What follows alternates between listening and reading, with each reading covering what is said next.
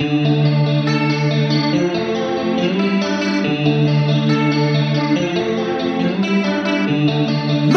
through the window, there it lies.